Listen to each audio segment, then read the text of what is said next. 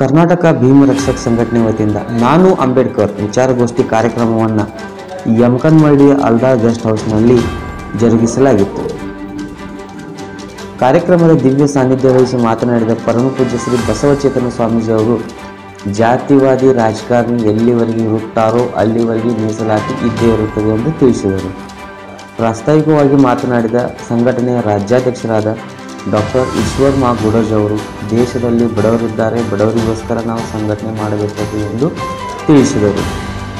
Manjula Ramangatti, Suresh Talawar, Prashant Aihole, ಏಳುಕೊಟ್ಟಪ್ಪ Patil B S Nadkar, Gadi Vaddar Vinod Gaste, Devanand Dodmani, Rehman Mokashi, Kiran Gaikwad, Raju Madar, Shilpa Harijan, Sudhir Aihole ಮುಂತಾದವರು ಉಪಸ್ಥಿತರಿದ್ದರು. ವರದಿಗಾರರಾಗಿ ವೈಶಾಲಿ ಭೋಸ್ಲೆ ಶಿವಸೋಲೈವ್ ದೇಶವನ್ನು ಮಾಡಿ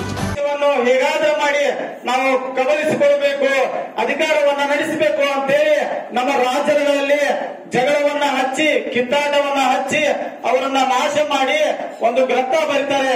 ಆ ಗ್ರಂಥ ಏನಂದ್ರ ಬ್ರಾಹ್ಮಣ್ಯೋಸ ಮುಖಮಾಸೀತ ಬಾಹುರಾಜನ ಗತಂ ಊರು ತದಸ್ಯ ರವೈಶ್ಯ ಬ್ರಾಹ್ಮಣ ಶೂದ್ರ ಅಚಾಯತ.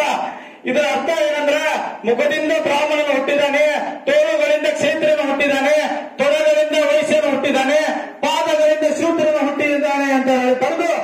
ಇವತ್ತು ನಮ್ಮನ್ನೆಲ್ಲರನ್ನು ಶೂದ್ರವನ್ನಾಗಿ ಮಾಡಿದ್ದಾರೆ.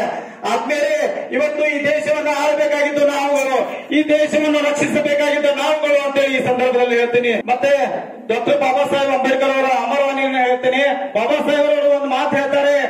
ಮೊದಲನೇದಾಗಿ, ಸುಖವಾಗಿ ಬದುಕಬೇಕೆಂಬ ಆಸೆ ಇಲ್ಲದ ಜನರು ಅದನ್ನು ಪಡೆಯುವ ಛಲ ಇರಬೇಕು ಅಂತಹ ಜನರು ಪ್ರಗತಿ ಹೊಂದಿರುವ ರಾಷ್ಟ್ರದಲ್ಲಿ ಇದ್ದರೂ ತಮ್ಮ ಸ್ಥಿತಿಗತಿಯಿಂದ ಉತ್ತಮಗೊಳ್ಳಲು ಯಾವ ಪ್ರಯತ್ನವನ್ನು ಮಾಡಲಾರು, ಆಗ ಅವರು ಮತ್ತಷ್ಟು ಬಡತನ ಗೋಪದಲ್ಲಿ ನಡೆಯುತ್ತಾರೆ ಅಂತ ಹೇಳ್ತಾರೆ ಡಾಕ್ಟರ್ ಬಾಬಾ ಸಾಹೇಬ್ ಅಂಬೇಡ್ಕರ್ ಅವರು.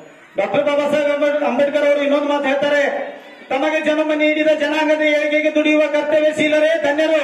ತಮ್ಮ ಜನಾಂಗಕ್ಕೆ ತಗಲಿರುವ ಗುಲಾಮಗಿರಿಗಳನ್ನು ತನಕ ತಮ್ಮ ಹಕ್ಕು ಅಧಿಕಾರ ಗಳಿಸುವ ತನಕ ಸನ್ಮಾನಕ್ಕೆ ಆಸೆ ಪಡದೆ, ಅಪಮಾನಕ್ಕೆ ಅಂಜದೆ, ಬಿರುಗಾಳಿಯನ್ನು ಲೆಕ್ಕಿಸದೆ ಮುನ್ನಡೆದು ಗುರಿ ಸಾಧಿಸುವರೇ ಧನ್ಯರು ಅಂತ ಹೇಳ್ತಾರೆ ಡಾಕ್ಟರ್ ಬಾಬಾ ಸಾಹೇಬ್ ಅಂಬೇಡ್ಕರ್ ಅವರು. ಇವತ್ತು ನಾವೆಲ್ಲರೂ ಅರ್ಥ ಮಾಡ್ಕೋಬೇಕಾಗಿದೆ ಡಾಕ್ಟರ್ ಬಾಬಾ ಸಾಹೇಬ್ ಅಂಬೇಡ್ಕರ್ ಅವರು ಇನ್ನೊಂದು ಮಾತು ಹೇಳ್ತಾರೆ ಪರಿಶಿಷ್ಟ ಜಾತಿ ಮತ್ತು ಹಿಂದುಳಿದ ಜಾತಿಗಳೊಂದು ರಾಜಕೀಯ ಶಕ್ತಿ ಈ ದೇಶದ ಅಧಿಕಾರ ನಿಮ್ಮ ಕೈಗೆ ಬರ್ತದೆ ಅಂತ ಹೇಳ್ತಾರೆ ಡಾಕ್ಟರ್ ಬಾಬಾ ಸಾಹೇಬ್ ಅಂಬೇಡ್ಕರ್ ಅವರು. ಇವತ್ತು ನೋಡಿ, ನಾವು ಸನ್ಮಾನ್ಯ ಶ್ರೀ ಸತೀಶಣ್ಣ ಜಾರಕಿಹೊಳಿ ಅವರು ಇವತ್ತು ನಮ್ಮನ್ನೆಲ್ಲ ಇಷ್ಟೆಲ್ಲ ಸಪೋರ್ಟ್ ಮಾಡಿ ಸಂಘಟನೆಗಳನ್ನ ಯಾರಾದ್ರೂ ಒಬ್ಬ ರಾಜ್ಯದಲ್ಲಿ ನಾಯಕರು ಯಾರು ಬೆಳೆಸ್ತಾ ಇದ್ರೆ ಅದು ಸನ್ಮಾನ್ಯ ಶ್ರೀ ಸತೀಶಣ್ಣ ಜಾರಕಿಹೊಳಿ ಅವರು ಅಂತ ಹೇಳಿ ಹೇಳ್ತೀನಿ. ಯಾಕಂದ್ರೆ ಅಂಬೇಡ್ಕರ್ ಅವ್ರನ್ನ ಕಳ್ಕೊಂಡಿದೀವಿ ಕಾಂತಿರಾಮ್ ಸಾಹೇಬ್ರನ್ನ ಕಳ್ಕೊಂಡಿದೀವಿ ಇವತ್ತು ನಮಗೆ ನಿಜವಾದ ಒಂದು ಅಂಬೇಡ್ಕರ್ ಅವರ ಸ್ಥಾನದಲ್ಲಿ ನಿಂತು ಇವತ್ತು ಸಂಘಟನೆಗೆ ಬಲವಾದ ಶಕ್ತಿಯನ್ನು ಕೊಡುವ ಕೊಡ್ತಿರುವಂತ ಏಕೈಕ ಅದು ಸನ್ಮಾನ್ಯ ಶ್ರೀ ಜಾರಕಿಹೊಳಿ ಈ ಸಂದರ್ಭದಲ್ಲಿ ಹೇಳ್ತೀನಿ.